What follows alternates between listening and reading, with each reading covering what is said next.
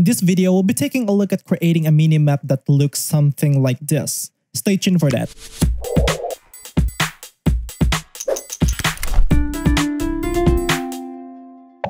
Before we start this video, this video is sponsored by Unity. Unity is currently offering New Year sale for up to 50% off through the 7th of January. Not only that, you can save 5% more on all orders using the coupon code GOODBYE2020.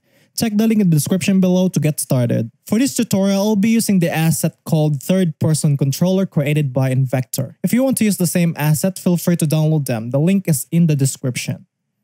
To create a minimap, the first thing that we need to do is to create the second camera. So go to your hierarchy, hit right click and select camera. Then rename the camera to minimap camera. Next, we need to make sure that the position of the camera is set to where the player is located. So drag the camera object and put it inside of the player. That should update the position of the camera. Then go to the inspector and reset the transform. Then unchild the minimap game object. Next, we need to move the camera up for a bit, so let's set its Y position to something like 12. Then let's rotate the camera so it's pointing downwards. So let's set the X rotation to 90. Next, let's go over here in our camera component and set the following settings. First, let's set the background type to color, then set the background color to white or any color that you want to use. I'll just set it to white for this video. Next, for the culling mask, actually let's come back to that later on. Let's proceed to projection and set it to orthographic. That should make our camera view flat. If you're not seeing anything, make sure that you set the depth to 1. The next thing that we're going to create is the UI for our minimap. So go to your hierarchy window, hit right click and select UI, then raw image. The reason for that is because we're going to use render texture. That should create a white square in your game view. Now let's make it bigger because it looks very small. Let's set its width and height to 200. Now I'd like my minimap to be placed in the bottom right corner of my game. So let's go to its anchor preset or in your inspector. In the transform, there's anchor presets and then hold your alt key. That should give you new options for anchoring and then select this time the bottom right anchor preset that should move the raw image to the bottom right corner of your game view. And even if you resize your game view, the raw image will stay in that position. Now we have the camera and the raw image. The next thing that we're going to create is the render texture. So go to your project window, hit right click and select create and then render texture. Let's just rename this to minimap. Then in the inspector, let's set its size to 512 by 512. So it's not gonna look like it's in low resolution. Now let's use this render texture in our camera. Select the minimap camera object, go to the output section and apply the render texture to the target texture. And also let's remove the audio listener because we don't need that. Alright, now we're almost done. Let's select the raw image and apply the render texture. And there you go. Now we have a working minimap, but it looks really boring. It's just pointing downwards, not moving with the player whatsoever. So let's make it look like an actual minimap. Go to your project window, create a new C-sharp script and call it minimap. And then open the script with Visual Studio. The first thing that we need to do is to get the player object. So inside the start function, use the game object that find game object with tag and make sure that you're passing the player tag. And also make sure that your player tag is set to player. Next, let's change the update function to a late update.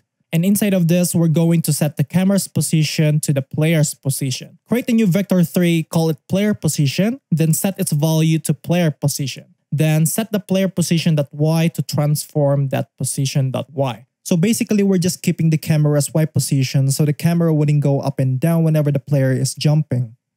Then lastly, we're going to pass the value of player position to transform that position.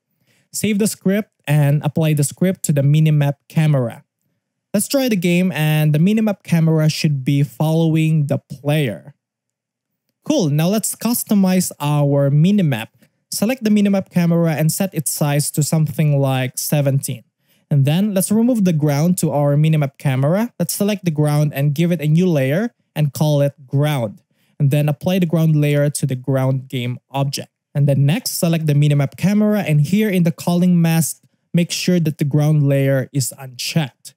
That should remove the ground in the minimap. And there you have it. Now we have the minimap at the bottom right corner of our screen, but our player is starting to move really, really weird. This is because we have customized our, our ground. We have changed the layer of our ground. So make sure that you have set up your character or your player. And in here in the basic control light by Invector, you have to set the ground layer to ground. So let's try it again. And that should fix our player. Awesome. Now we can run, we can walk, and our minimap looks much better. Awesome. So if you want to use a logo, say for example for your player, if you want to display a circle, then all you need to do is just to do the same thing. You have to set a layer for your player. Let's actually do that. Let's stop our game mode and in our player, I'm going to create a new game object and I'm going to select, say for example, cylinder.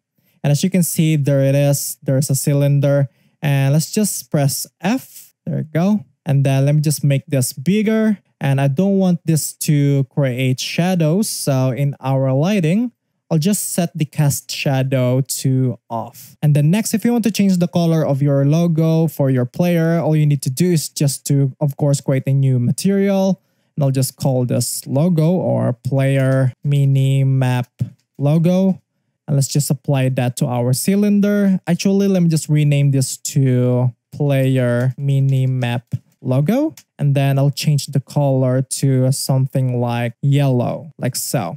And then we're going to set a layer for our logo. So this is going to be player. And then for our player itself, we're going to change the layer to something like player logo. And then for the player, I'll set its layer to player. Yes, children. And then for the player minimap logo, I'll change this to player logo. There have it. And let's select our minimap camera. And then for the culling mask, I'll check the player logo, but make sure that the player is unchecked. All right, so let's try that. Let's play our game. And there you have it. Now we have a yellow circle in here.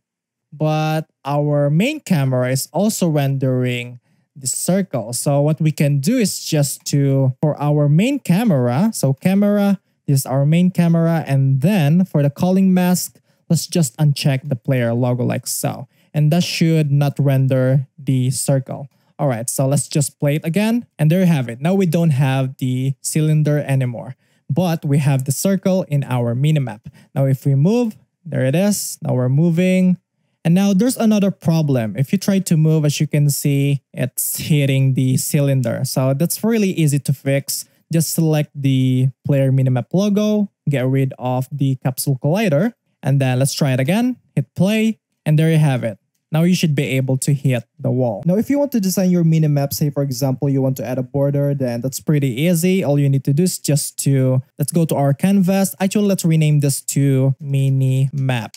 And then let's just duplicate this and then get rid of the minimap render texture. Let me just set this to none. And then let's go back to our game view and let's just move this above the minimap. And then let's just rename this to minimap border. And then let me just resize this to 210 by 210 like so.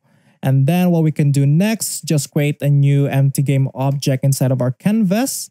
And then let's just call this mini map. And then let's just move the two object inside. So mini map and then mini map border.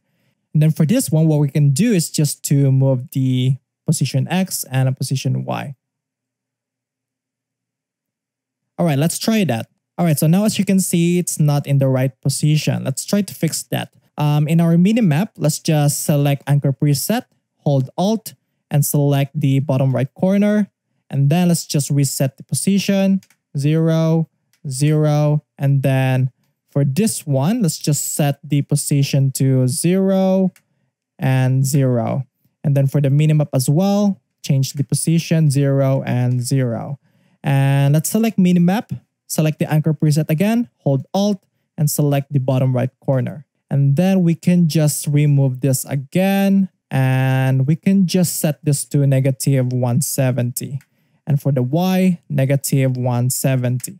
Actually, it's supposed to be positive, so 170. There you go. Now if we try to play this, and there you go, now it's in the bottom right corner. And there you have it, we have created a very simple yet nice looking minimap in less than 10 minutes. In the next video, we will take a look at adding more icons for NPC or other stuff like buildings. If you want more Unity related tutorials, be sure to subscribe so you won't miss any of our future uploads. Again, thank you for watching and I will see you in the next video.